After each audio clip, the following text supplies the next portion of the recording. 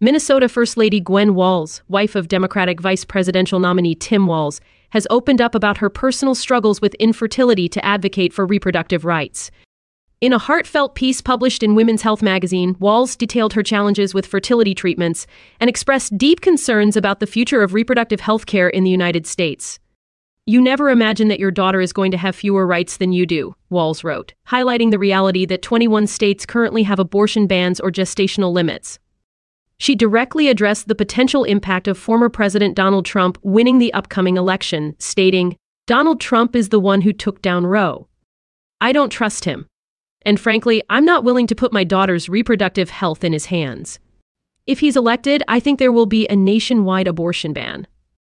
Trump has openly discussed his role in the overturning of Roe v. Wade and has campaigned on leaving abortion regulations to the states, though he has suggested that a national 15 week abortion ban could be very reasonable. While he supports fertility treatments like IVF and has expressed a desire to make them free, the legal uncertainties following Roe's reversal raise concerns for many.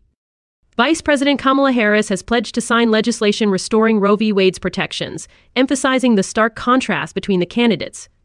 Walz's personal narrative underscores the broader debate on reproductive rights, illustrating how policy decisions directly affect individuals and families.